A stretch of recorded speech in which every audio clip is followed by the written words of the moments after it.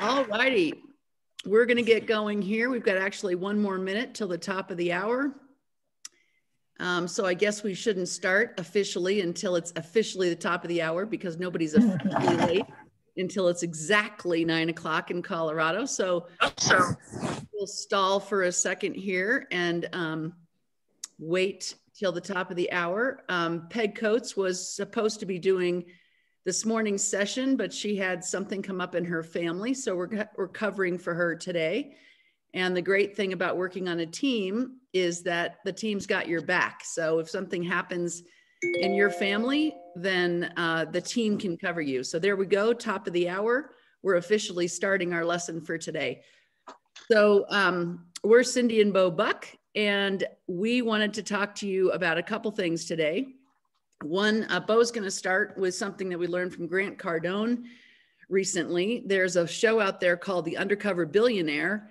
And if you haven't seen it, it's where they drop somebody, a billionaire, off in the middle of nowhere without their name, without with a hundred dollars. They get an old car, and um, that's it. And they have to build a million dollar business in 90 days from nothing. And so um, it's a pretty interesting show. You can go on, I don't know if it's Netflix, Bo, or Amazon Prime, or where does where is that? It's on Discovery oh, Plus. It's Discovery Channel. Discovery Channel. this week it, they changed it to Discovery Plus, so it's a subscription, and it's today. Today is the third week. Okay, so Discovery Plus is where you can find it. If you've got cable or, you know, you're paying up the nose for for TV like we do, you might as well take advantage of your subscription. By the way, I, I, I stream it through Zoom. So at 6 p.m. Mountain Time, people are welcome to come onto my Zoom and watch it if they don't have Discovery Plus. There you go. Can you put your Zoom number, Amy, in the yes. Um, chat? I'll, I'll, I'll give the, the link. Okay, see, there's always a way to beat the system. So Amy, if anybody's but it's going to figure it out, it's Amy Noland. So anyway, uh, Bo, let's start over to you. Um, Grant Cardone is an amazing guy. Um, he's all about 10xing everything in your life, your business, you know, everything. And he was one of the um, billionaires that had this challenge. He said it's probably the hardest thing he's ever done. He felt like quitting and he didn't know that he could do it until I think he said day 87. So anyway, Bo, over to you. Yeah, the other thing, I'm not sure if you mentioned it, Cindy, but not only do they drop them in a town somewhere in the United States, which was Pueblo, Colorado for him, but he doesn't get his name. He can't even use his name. He get, they give him a fake name and everything. But bottom line is, Cindy and I are going to do quick two quick trainings this morning. So you're going to have two assignments, both of which we can do during the 20 minutes. Grant Cardone, one of the biggest things uh, and, and we've talked about this before, I think even within the past couple of weeks, but uh, you've got to realize, we all need to realize that when we're bringing people into our business, that they already have lives, right?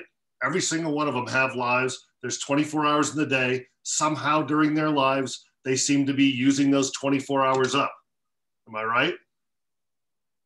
Yeah, they seem to be using those 24 hours up. So what does that mean?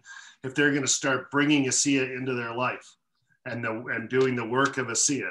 What it means is they have to give something up, right? And Grant Cardone goes, You got to quit.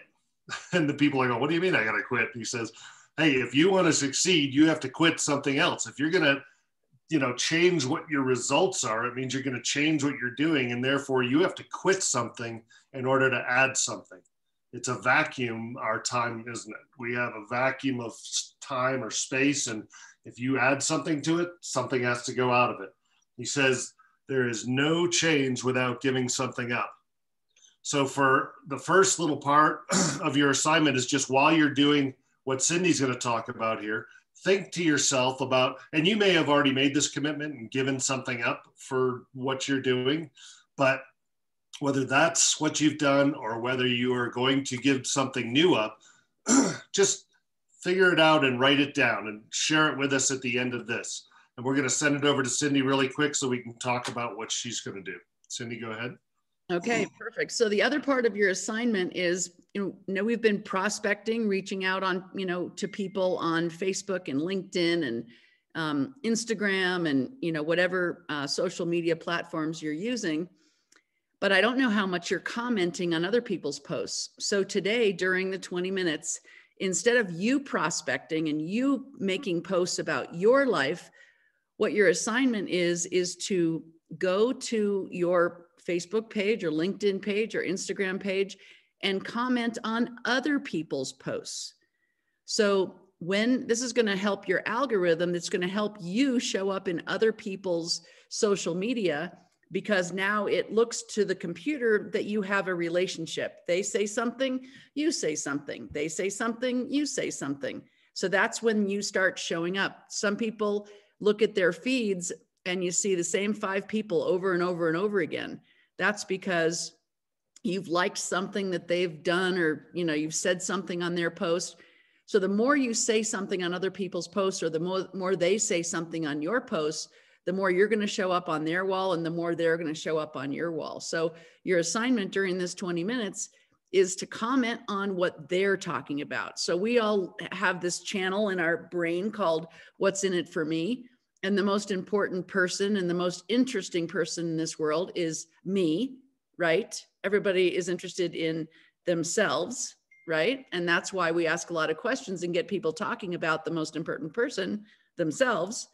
And so when people are posting their perfect life on social media, encourage them.